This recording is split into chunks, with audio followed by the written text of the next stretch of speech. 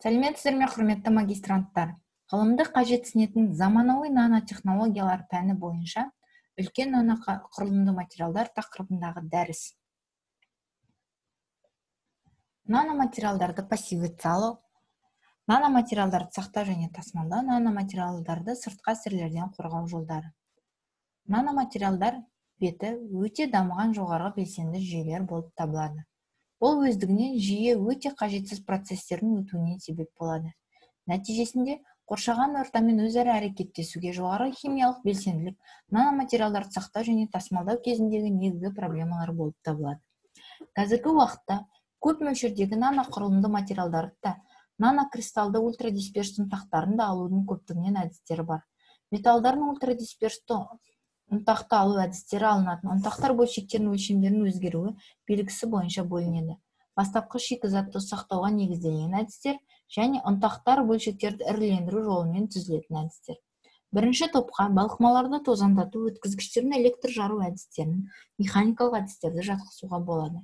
Екінші топқа плазмалық ағыстағы булану плазма химиялық синтез булану конденсация химиялық диспергерлеу электр тұндыру левитациялық ағынды әдіс жатады.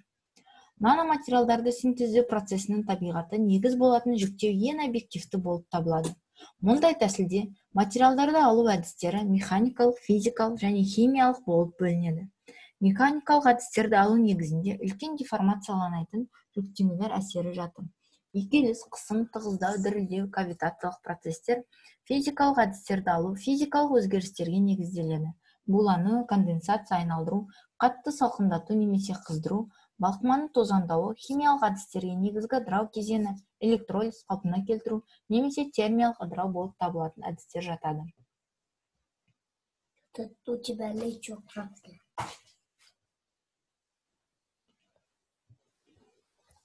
химиялық белсенді материалдың ұнтақтарын әртүрлі пассиваторлармен өңдеу арқылы тотығудан қорғаудың бірқатар жолдары бар.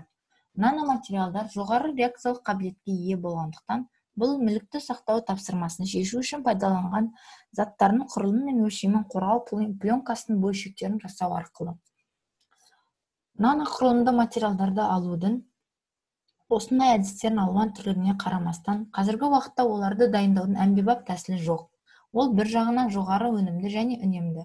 Ал екінші жағынан берілген қасиеттер кешені фазалық және химиялық құрамы құрылымы кристалдардың орташа мөлшері морфологиясы және тағы да басқалары бар.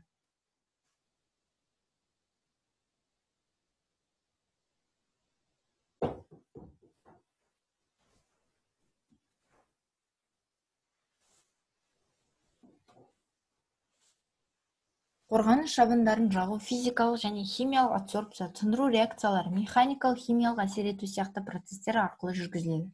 Дегенмен пассиваторларды таңдау және пайдалану кезінде бірқатар факторларды да ескеру қажет. Атап айтқанда пассивацияның көптеген әдістерінде улы материалдар қолданылады. Сұйық пассиваторларды пайдалану алынған өнімді ластайды және технологиялық процесті қиындатады. Катализдегі сияқты беттерді пайдаланумен байланысты көптеген қолдану салаларында күшті пассивация тұтынушылық қасиеттерінің жоғалуына әкелуі мүмкін. Пассиватор наноматериалдың қасиеттерін қажетсіз бағытта өзгертпеуі тиіс. Ал қажет болған жағдайда өнімнің қажетті қасиеттері мен мөлшерін сақтай отырып жоюға қабілетті болуы тиіс. Іске асырылатын процестер механизміне сүйене отырып наноматериалдарды пассивациялаудың үш негізгі әдісін бөліп көрсетуге болады.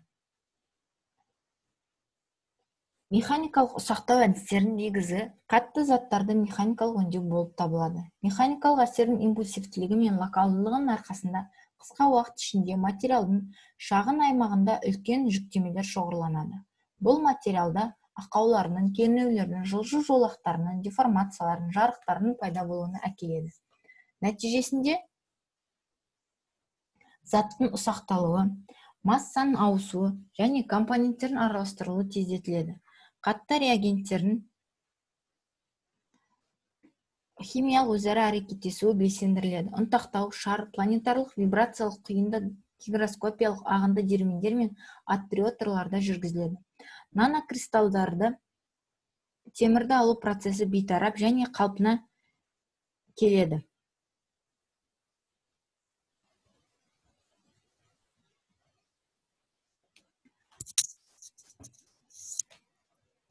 Көлемді наноматериалдардың бетінде қорғаныш жабындарды ірі кристалды заттарда қолданылатын қарапайым әдістердің көмегімен жасауға болады.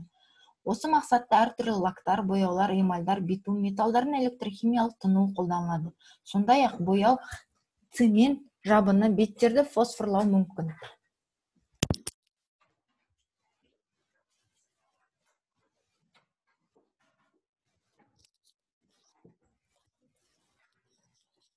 Ұнтақтау шар планетарлық вибрациялық құйынды гигроскопиялық ағынды терминдер мен аттериоторларда жүргізіледі. Нанокристалды темірді алу процесі бейтарап немесе қалпына келтіру атмосфераларында жүргізіледі. Темір ұнтағы бөлшектерінің пішімі мен өлшеуі ұнтақтау уақыты мен қарқындылығына байланысты болады. Металл наноұнтақтарын қорғау көбінесе олардың бетін тотықтыру арқылы жүргізіледі. Бұл жағдайда зат инертті газдар ағынымен немесе азотпен өңделеді. Кез келген газда тіпті өте таза оксидтің пайда болуына себепші болатын оттегінің шағын қоспалары бар. Бірақ бұл жағдайда бейтарап қоршаған орта және тотықтырғыш элементтің төмен концентрациясы процесті мөлшерлеу сияқты тез өтуге жауап бермейді. Нәтижесінде қалыңдығы бірнеше нанометрлердің қорғаныш жабынын жасау және материалдың металл негізін сақтау мүмкін. Наноұнтаққа пассивті әсер көміртек оксиді оның бетінің күшті адсорбциясы есебінен болады. Процесс аргонның көміртек оксидімен қоспасын беру арқылы жүзеге асырылады. Ұнтақталған құрғақ мұзбен наноұнтақтарын араластыру мүмкін. Әдістерін атап өту керек нанобөлшектер бетіндегі газдың адсорбциясы арқылы пассивация пассиватор молекулаларының булануы немесе ыдырауы салдарынан қысқа мерзімге есептелген. Гептан ортасында ұнтақтау арқылы алынған бөлшектер мөлшері бойынша кең таралған. Жеті микрометрден астам бөлшектер кездеседі бөлшектердің диаметрі төрт жүзден үш мың нанометрге және биіктігі жетпістен екі жүз елу нанометрге дейін өзгерген. Әрбір қабық бірнеше дәндерден тұрады. Беттің микроструктурасын зерттеу дәндердің пішіні мен өлшемі бойынша кең таралу бар екенін көрсетті. Көптеген дәндердің пішіні ұзындығы жүзден төрт жүз нанометрге дейін және ені отыздан жүз нанометрге дейін созылған. Шарлы дермендерде ыдыраудан алынатын темір бөлшектерін шекті мөлшерлі ұнтақтау кезінде қосымша ыдыраушы орталарды қосу арқылы азайтылуы мүмкін.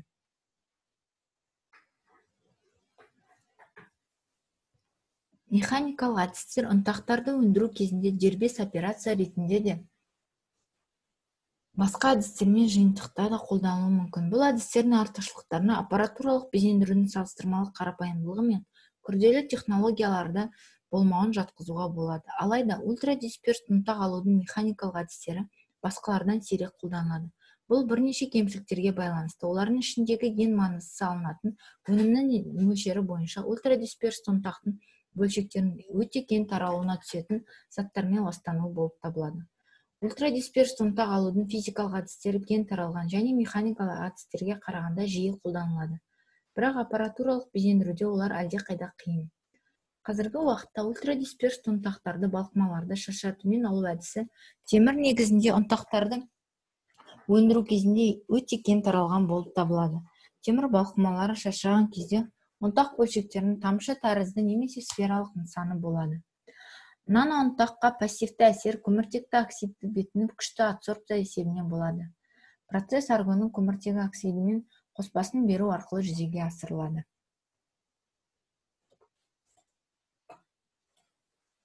Жеті жүз градусқа дейінгі температура кезінде жоғары көзді сутегіде күйдіруді металлды пассивациялаудың мүмкін болатын тәсілдерінің бірі болып табылады. Бұл жағдайларда наноұнтақтардың оттегіге қатысты белсенділігінің айтарлықтай төмендеуі байқалады. Бұл ретте бөлшектердің іріленуі және олардың пішіні өзгермейді. Суда еритін полимерлер қазіргі уақытта қорғаныс жабындарына арналған ең перспективалы материалдардың бірі болып табылады. Атап айтқанда поливиноприлонды пайдалану нанобөлшектердің химиялық белсенділігін жоюға оларды сумен жағымсыз әрекеттен сақтауға қалыптық массада уақытша технологиялық байланыс жасауға мүмкіндік береді. Бірақ ең құнды болып табылады. Бұл суда еритін полимер пісіру сатысында оңай наноматериалдың бетінен соңғы өнімді ластамай жояды. Бастапқы материалдарды дисплеймирлеу әдістеріне буландыру конденсация әдістерінің әртүрлі нұсқалары жатады. Олар будың фазалық ауысу нәтижесінде ұнтақтарды алуға негізделген газ көлемінде немесе салқындатқыш бетте қатты денеде жүреді. Буланатын материалды қыздыру әртүрлі тәсілдермен жүзеге асырылуы мүмкін. Резистивтік лазерлік плазмалық электр доғасы мен индукциялық иондық. Булану конденсация процесін вакуумда бейтарап және қалпына келтіру орталарында жүргізуге болады. Соңғы өнімнің қасиеттері жүйедегі қысымға байланысты. Қазіргі уақытта қуатты тоқ импульстерін лазерлік немесе плазмалық қыздырудың көмегімен инесіз булануда пайдаланатын булану конденсация әдістері кеңінен таралған. Бұл конденсаттың тазалығын арттырады. Осы тәсілмен алынған феррум бөлшектерінің мөлшері жиырмадан жүз нанометрге дейін болды және де бөлшектер ине пішінді болады.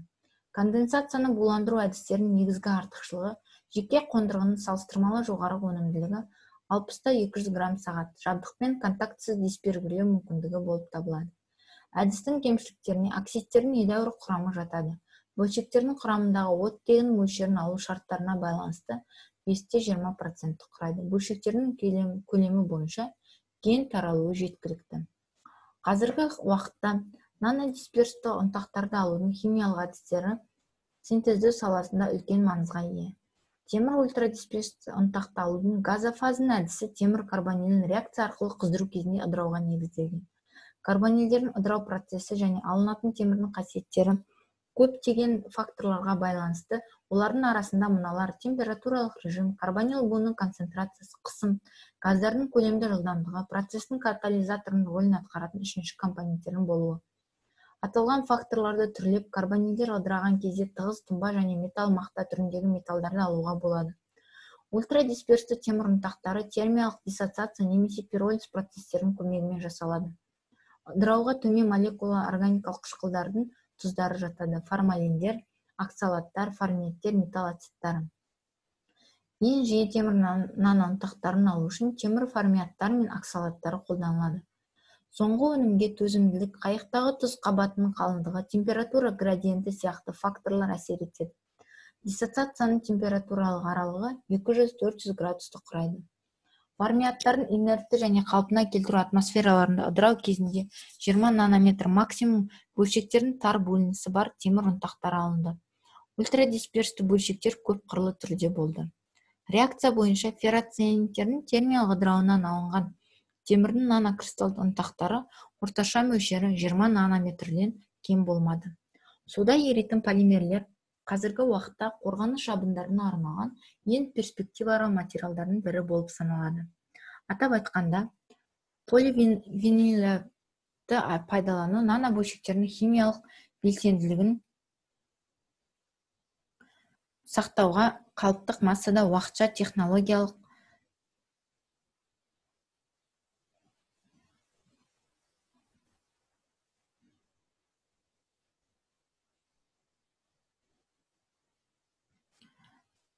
байланыс жасауға мүмкіндік береді. Бірақ ең құнды полимерлер суда еритін полимер пісіру жолында оңай болып табылады.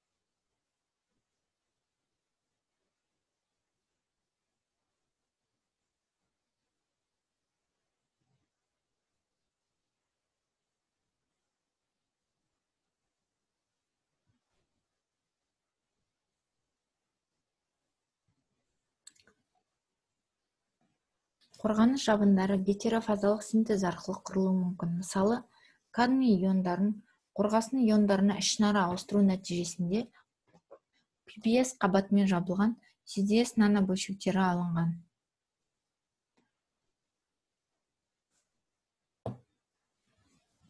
Формиаттардың инертті және қалпына келтіру атмосфераларында ыдырау кезінде 20 нанометр максимуммен бөлшектердің тар бөлінісі бар темір ұнтақтары алынады. Сонымен қатар ауыр металдардың азиттерін ыдырату жолымен және металдардың алкоголяттарын гидролиздеу жолымен ультрадисперсті ұнтақтау алу әдістері қолданылады. Ыдырау және диссоциация әдістерінің оң жақтары жоғары өнімділік пен үнемділік болып табылады. Кемшіліктерге ұнтақтардағы оксидтердің жоғары мөлшерін және олардың пирофорлығын жатқызуға болады. Соңғы уақытта разрядты плазманың жоғары температуралы ағындарында химиялық реакциялардың қатысуымен дисперсиялық бөлшектердің қалыптасуына негізделген темір ультрадисперс ұнтақ алудың плазмохимиялық әдістері өзекті. Плазмохимиялық синтездің ерекшеліктерінің бірі компоненттердің реакция аймағында болуының қысқа мерзімділігі болып табылады. Бұл әдістің артықшылығы жоғары өнімділік кемшіліктеріне жабдықтардың жоғары құны мен процестің басқару синтезінің күрделілігін жатқызуға болады. Металлдар мен қорытпалардың ұнтақтарын алудың электрохимиялық және гидрометаллургиялық әдістері металлдар тұздарын су ерітінділерін электролиздеу процестерін негізделген әдістеріне бөлінеді. Микрокапсулда микрокапсулалау деп үлдір құраушы материалдардан қорғаныш қабықтарында қандай да бір заттың микробөлшектерін алу түсіндіріледі. Нанобөлшектер микрокапсуланың ядросы болып табылатын капсулалы зат. Қабық бөлшектерді бір бірінен және сыртынан бөледі. Сондай ақ тұрақтандырушы агент функциясын орындайды. Қабықты жасау үшін әдетте әртүрлі табиғи және синтетикалық полимерлер пайдаланылады. Олар нанобөлшектердің бетіне қандай да бір тәсілмен тұндырылады. Нанобөлшектерін микрокапсулалау дегеніміз яғни қайталап айтып өткенде микробөлшектердің қандай да бір қорғаныс жабындар арқылы тұрақтандырушы агенттер функциясын орындаумен алынуын айтамыз. Қабықты жасау үшін көбінесе синтетикалық полимерлер пайдаланылады. Микрокапсулдау процесі ерігіш заттың көмегімен тұндыру еріткіштің булануы экструзия. Капсуляцияланатын затты пленка құраушы материал арқылы сығу кезінде бөлшектердің қабықпен қапталуы жүреді. Тозаңдану конденсация және поликонденсация полимерлеу арқылы жүргізіледі. Ерітінділерден пленка түзілу механизмінің әртүрлі нұсқаларына негізделген фазаларды бөлу әдісімен микрокапсулдау таралады. Металдар мен қорытпалардың ұнтақтарын алудың электрохимиялық әдістерінде электролиздеу кристалларалық коррозия процесін пайдалану автокласстық әдістерді ұнтақтарды цементтеумен алу қолданылады. Электрохимиялық әдістердің артықшылығы процесс пен өнімнің қасиеттерін басқару мүмкіндігі алу барысында материалдарды тазалау мүмкіндігі және жоғары өнімділік болып табылады. Әдістің кемшіліктері ұнтақтардың жоғары өзіндік құны және үлкен энергия сыйымдылығы. Темір нанобөлшектерін алу тәсілдерінің бірі металдардың ерітіндіден химиялық қалпына келтіру әдісі болып табылады. Әдістің мәні әртүрлі қарпына келтіргіштермен h екі со гидрозин гипофосфит формальдегид және тағы да басқалары тұздарының су ерітінділеріне металл иондарына қалпына келтіруден тұрады. Әдетте микрокапсуланың нысаны нанобөлшектердің кескінін қайталайды. Қабықтың қалыңдығы микрокапсулдау әдісімен және шарттарымен анықталады. Наноматериалдардың қабығын қалыптастыру процесі өзара әрекеттесетін заттардың беткі қасиеттерімен анықталады.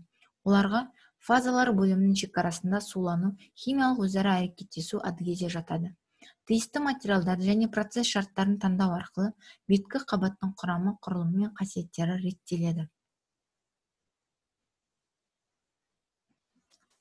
Микрокапсулдау процесінде дисперсиялық жүйелердің тұрақтылығын арттыру үшін беттік белсенді заттар қолданылуы мүмкін. Олар нанобөлшектер бетінің қасиеттерін өзгертеді. Олардың беттік энергиясын төмендетеді. Қоршаған ортамен өзара әрекеттесу процестерінің тепе теңсіздік дәрежесін азайтады. Мұның бәрі наноұнтақты қажетсіз реакциялардан қорғайды және бөлшектердің одан әрі өсуін баяулатады. Жоғары реакциялық қабілеті ал кейбір жағдайлар ультрадисперсті металдар мен қорытпалардың пирофорлығын олардың қолдануын айтарлықтай қиындатады. Реакциялық қабілеттілігін төмендетудің ықтимал тәсілдерінің бірі тасығыштарда ультрадисперсті бөлшектер алу болып табылады. Тасушы ретінде мысалы белсендірілген көмірлер полимерлер қолданылады. Матрицалардағы нанобөлшектер өздерінің бірегей қасиеттері магнитті электрофизиялық және тағы да басқаларын сақтайды. Темір гидроксидтерінің ультрадисперс ұнтақтарын алу зоолгель әдісінің көмегімен де мүмкін. Механохимиялық пассивацияға келсек пассивацияның осы түрінің негізінде қатты дененің механикалық өңдеуге немесе ұнтақты дайындауға байланысы. Механохимиялық реакциялардың әртүрлі түрлерін жүзеге асыру жатыр. Бұл жағдайда жаңа беттің белсенділігінің арқасында ұсақтау немесе шабу кезінде мономердің немесе полимерді бөлшектің бетіне бекіту жатады. Қазіргі уақытта темір тұздардың ерітінділерінің әртүрлі морфологиясы бар. Бөлшектердің шөгуінің жағдайлары жақсы зерттеген. Тұздардың шөгуіне ерітіндінің температурасы және концентрациясы сияқты әртүрлі параметрлер әсер етеді. Әдетте әсері әрдайым бір мәнді емес және алынатын гидроксидке байланысты ерекшеленеді. Шөгетін ерітінділер температурасының жоғарылауы ұрықтардың өсу жылдамдығының артуына және олардың агломерацияға бейімділігінің артуына әкеледі. Бұл соңғы ультрадыбыстық өнімнің қасиеттеріне теріс әсер етеді. Борлы денелер материалының бетін түрлендіруі мүмкін.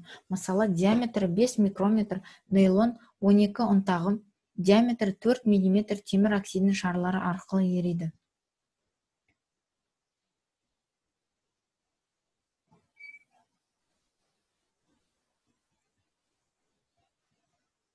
бұл ретте соққының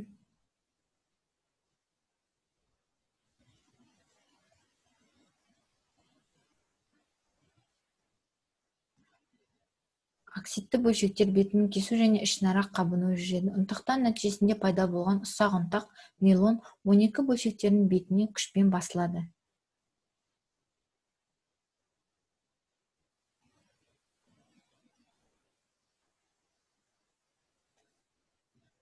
Борлы денелердің түрін еркін түрде өзгертуге болатындықтан нейлон 12 ұнтағын әртүрлі оксидтермен түрлендіру мүмкін. Оксидтер жағдайында ұнтақтау нәтижесінде алынатын бөлшектердің мөлшері 30-100 нанометрді құрайды. Кейбір гидроксидтер үшін тұндырғаннан кейін сондай ақ одан әрі ауа оттегімен тотығуы мүмкін. Бұл өнімнің қасиеттерінің өзгеруіне әкеледі. Мысалы феррум с4 су ерітінділерін сілтімен араластырып дайындалған феррум oh екі гидроксидінің жұмысында ол арқылы ауа тоғын барботирлеумен тотықтырды. Нәтижесінде альфа феррум oh ұнтақтарын алып содан кейін гамма феррум екі oh магнитті оксидіне ауыстырды. Альфа феррум oh феррум үш о төрт түзілгенге дейін бір сағат ішінде үш жүз елу градус ылғалданған сутегімен қалпына келтірілді.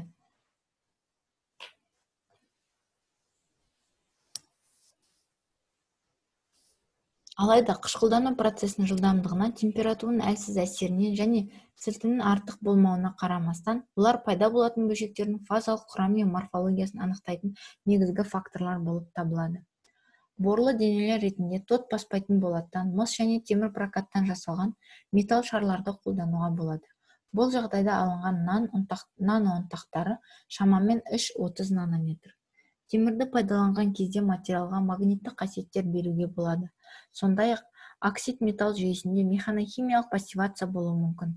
Мысалы титан диоксиді диаметрі 30 нанометр түрлі металл шариктермен ұнтақтау кезінде оның бетінде көлемі екі үш нанометр металл нанобөлшектері тіркеледі.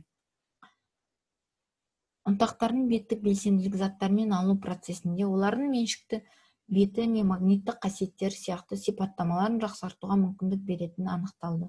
Мысалы жұмыста термохимиялық хлоридінің гидролизі ерітіндісін алпыс сексен градусқа дейін қыздыру арқылы төрт отыз нанометр радиусы бар темір гидроксиді бөлшектерін алынды. Қазіргі уақытта ультрадисперсті ұнтақтарды алудың көптеген әдістері бөлшектердің өсуін қатаң белгіленген формадағы және бірдей мөлшердегі бөлшектермен ұнтақтарды алуға мүмкіндік бермейтінін атап өткен жөн.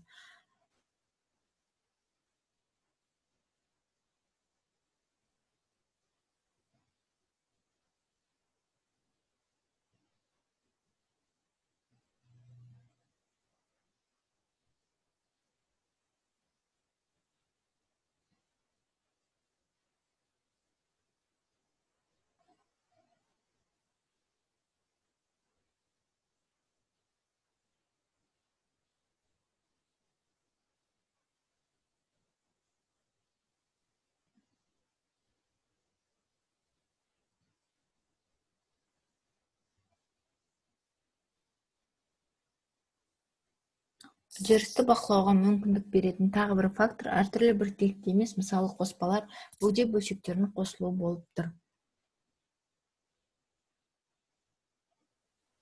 Борлы денелер темір ретінде тот баспайтын болаттан мыс және темір прокаттан жасалған металл шарларды қолдануға болады.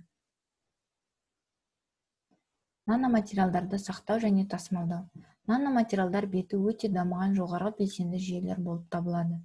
Бұл өздігінен жиі өте қажетсіз процестердің өтуіне себеп болады нәтижесінде қоршаған ортамен өзара әрекеттесуге жоғарғы химиялық белсенділік наноматериалдарды сақтау және тасымалдау кезіндегі негізгі проблемалар болып табылады.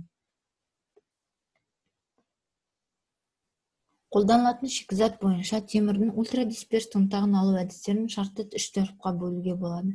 Бірінші топқа бастапқы реагенттер ретінде алдын ала дайындалған материалдардың пайдаланатын әдістер жатады.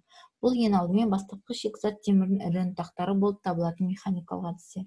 Екінші топқа темір тұздарын пайдаланатын әдістерді жатқызуға болады. Бұл газофазды плазмохимиялық синтез зоогель пиролиз тағы да басқалары. Үшінші топқа табиғи шикізаттан және әртүрлі өндіріс қалдықтарын темірдің ультрадисперс ұнтағын алуға мүмкіндік беретін әдістер жатады. Нанокристалды темірді алу үшін бастапқы материалдар ретінде көбінесе ірі ұнтақтар қолданылады. Жоғары энергетикалық ұсақтау жағдайында бастапқы ұнтақтардың ірілігі жеке қондырғылардың техникалық ерекшеліктерімен анықталады.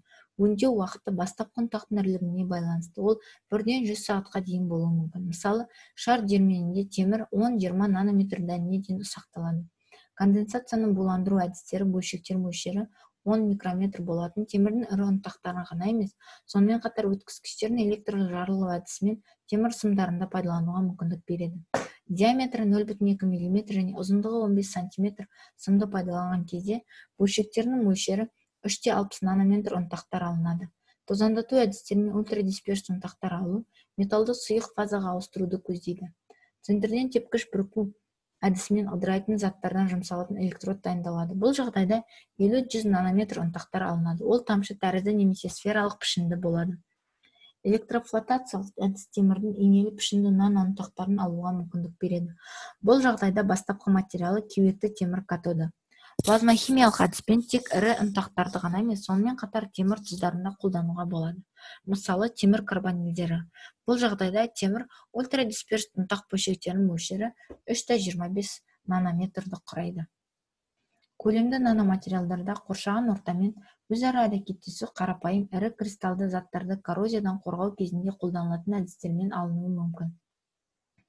Наноұнтақтарды қорғау күрделі міндет болып табылады. Бұл жағдайда сақтау шарттары олардың технологиялық қасиеттеріне қатты өзгерте өзгерте алады. Атап айтқанда металдардың нано оттегінің құрамын сақтау уақытын және қоршаған ортаның ылғалдылығына айтарлықтай тәуелді. Өйткені ауамен байланыс олардың айтарлықтай тотығуына немесе тіпті өздігінен жануына әкелуі мүмкін. Бұл нанодисперсті металдардың жоғарғы өрт және жарылыс қауіптілігін тудырады. Соңғы уақытта шикізат ресурстары тапшылығының туындауына және қоршаған ортаның ластануына байланысты әртүрлі өндірістердің қалдықтарын қайта өңдеу мәселесі ерекше өзекті болып отыр. Бүгінгі күні темір ультрадисперсті ұнтақтарының металл өңдеу өнеркәсібінің қалдықтарынан кейіннен құрамында оттегі бар темір қосылыстарын қалпына келтіре отырып зоогель әдісімен алу мүмкіндігі көрсетілген.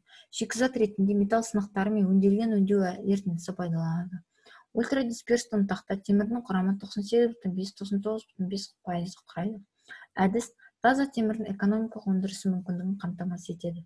Сол іріліктегі электролиттік ұнтақ құнынан он үш қырық пайыз немесе карбонилдік құнынан үш бүтін тоғыз пайыз.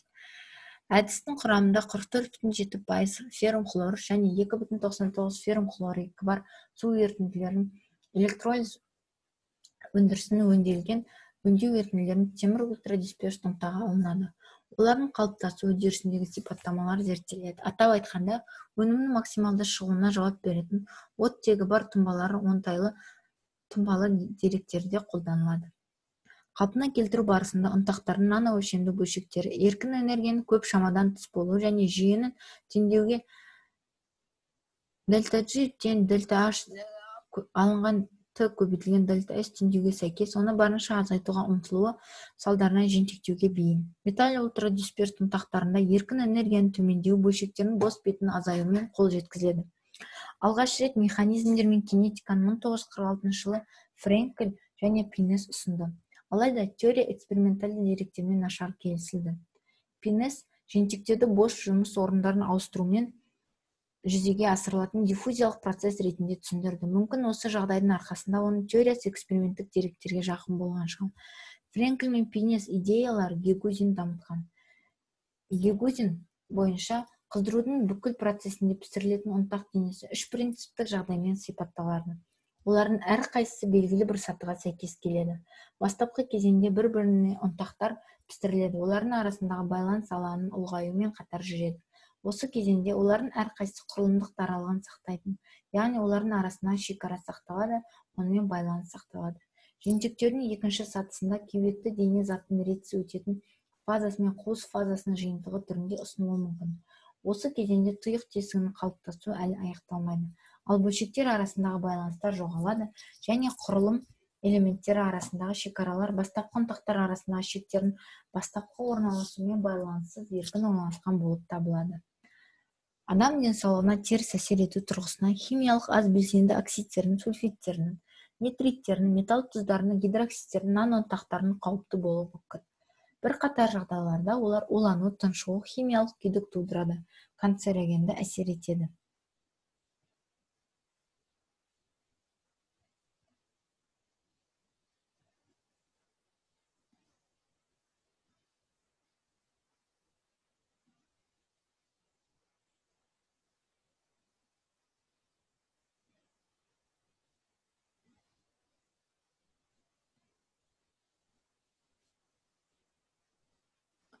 Жоғарыда айтылғандардан наноматериалдарды қауіпсіз өндіру және пайдалану үшін екі мәселені шешу талап етіледі. Біріншіден бұл заттардың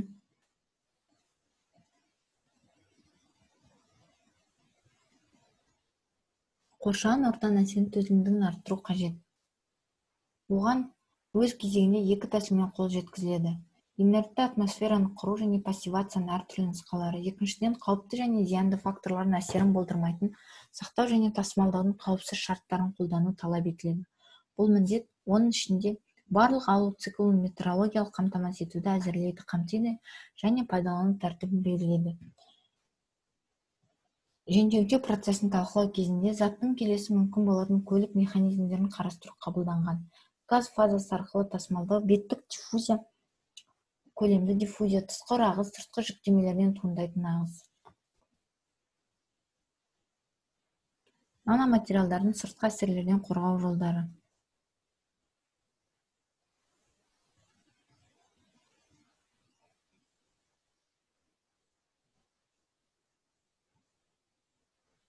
Наноматериалдарды қорғау үшін инертті газ ретінде сұйық газ тәрізді сұйық қатты орта немесе вакуумды пайдаланылады. Мүмкін. Тәжірибе көрсеткендей қолдануға ең ыңғайлы жоғарғы таза инертті газдар. Кейбір жағдайларда оларды газ тәрізді немесе сұйық азотпен ауыр көмірсутектердің буымен ауыстыруға болады. Бұдан басқа наноматериалдарға арналған қорғаныс ортасы құрамында ылғал жоқ кез келген органикалық еріткіш спирт гексан толуол бензол эфир силикон лак қарастырылады. Нано тиімді қорғау оларды нөл бүтін бес нөл бүтін алты салыстырмалы тығыздыққа дейін инертті газ ортасында нығыздау болды.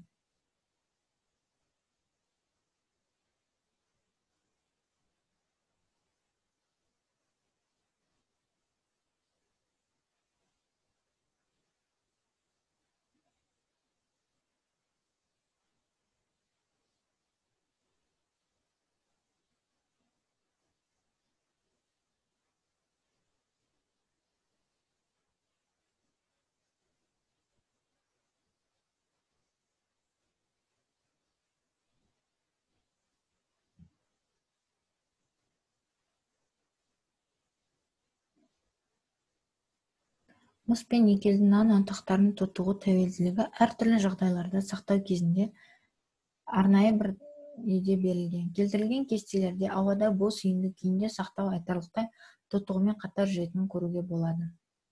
Мына суреттен байқайтынымыз ауада бір екі үш бес және аргонда төрт алты жеті сегіз сақтау кезінде мыс бір үш төрт жеті және никель екі де бес алты сегіз бүршіктеріндегі оттегі құрамының өзгеруі.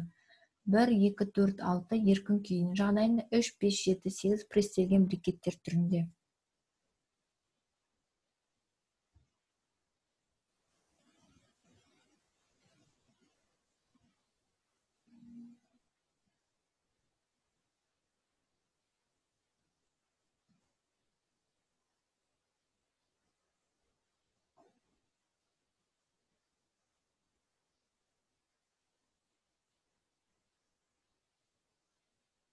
Техникалык караганда пайдалануу тотыгу жылдамдыгын эки бүтүн беш үч эсе төмөндөтөдү унтакты басуу оксос әсер этеді ол келесідей түсіндіріледі. Пірістеу барысында бөлік аралық тесіктердің бітелуі орын алады. Соның арқасында брикеттердің ішкі қабаттарында оттегінің қолжетімді едәуір дәрежеде тоқтатылады.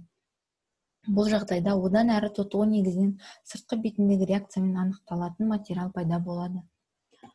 Бұл жағдайда заттың тасымалдануы пайда болатын далдардың бетінде жүреді. Схема бойынша жентектеу кезінде контактілі беттің ұлғаюы және бөлшектердің жақындауы механизмі жеңіл жылжымалы адсорбтелінген атомдардың беттік диффузиясымен сондай ақ атомдардың беттік қабаттың құрылымы бойынша жұқа ақаулы күйде орын ауыстыруы мен түсіндіріледі. Бұл ретте жер беті атомдарының қозғалысы олардың орналасқан орындарына байланысты деп санайды. Ең аз қозғалмалы атомдар түйіспелі учаскелердің ішінде жатқан. Содан кейін қозғалтқыштың өсу ретімен түйіспелі учаскелердің шекарасындағы атомдар тереңдіктегі атомдар тегіс учаскелердегі атомдар аз қамтылған қозғалғандықтан атомдар пайда болады. Беттік диффузия активтендірудің төмен энергиясымен және өздігінен диффузия коэффициенттерінің жоғары мәнімен сипатталады. Басқаша айтқанда атомдардың жер беті бойынша қозғалуын белсендіру салыстырмалы төмен температурада жүреді. Заттың бағытталған тасымалдануы өте тез жүзеге асырылады. Өнеркәсіптік өндіріс жағдайында инертті қоршаған ортаны жасау өте қиын екенін назар аудару қажет. Өйткені реакциялық белсенді заттармен байланысты болмауы наноматериалдарды алу және өңдеудің барлық операцияларын қамтамасыз етуі тиіс. Қазіргі уақытта темір ультрадисперсті ұнтақ машина жасаудың әртүрлі материалдарды технологияны қолданылады. Майлардың қызметтік қасиеттерін жақсартудың бір тәсілі оларға әртүрлі қоспаларды енгізу. Бірнеше пайыздан аспайтын концентрацияларда олардың құрамына енгізілетін ерімейтін материалдар майлардың көлемдік қасиеттерін нақты өзгерте алмайды. Бірақ олардың болуы жылдам жүктелген машиналардың үйкеліс торабы аймағындағы трибологиялық қасиеттерін гидродинамикалық және жылу жағдайын айтарлықтай өзгертеді. Әсіресе ультрадисперсті жағдайында майлау және материалының құрамына заттарды енгізгенде үлкен әсер бар. Майлайтын материалдағы ультрадисперсті темір ұнтағының оңтайлы құрамы салмағы бойынша нөл бүтін бір бес пайызды құрайды. Өнеркәсіптік жағдайда инерттік газды қоршаған ортаны жасау өте қиын. Наноматериалдардың барлық операцияларын қамтамасыз етуі тиіс. Наноматериалдар үшін инертті орта жасау мыналарды білдіреді. Құрғақ бокста бұрыштық камерада газ ортасымен осы бөліктерге инертті толтырылған герметикалық сыйымдылықтарда жұмыстар жүргізеді. Бұдан басқа наноматериалдарды синтездеу бойынша ұнтақтау қарқынды пластикалық деформация термиялық өңдеу алудың химиялық реакциялар және басқа да операциялардың бақыланатын инертті ортаны қамтамасыз ететін және заттың атмосферамен жанасуын болдырмайтын жабдықта жүргізу қажет. Инертті орта газ сұйық және тіпті қатты болуы мүмкін. Егер алу процесінде зат қыздырылған болса онда ол жақсы салқындату ол диффузиялық масса тасымалдауға бөлшектердің өсуіне ал ұнтақтар жағдайында берік агрегаттардың түзілуіне ықпал ететін оттегі мен судың қоршаған ортада сорбцияланады синтез процесі аяқталғаннан кейін наноматериалдар дереу сенімді оралған жөн. Алынған заттың белсенділігіне байланысты бұл үшін әртүрлі құрылғылар қолданылады. Пирофорлық наноматериалдардың құрамында осы зат үшін инертті орта немесе вакуум бар дәнекерленген контейнерлерге орналастырылған жөн. Белсенді наноматериалдарды осы затқа инертті материалдардан жасалған әртүрлі контейнерлар эксикаторлар бокстар шыны колбалар екі қабатты полиэтилен үлдірден жасалған қаптар металл ыдыстар буып тиеуге болады.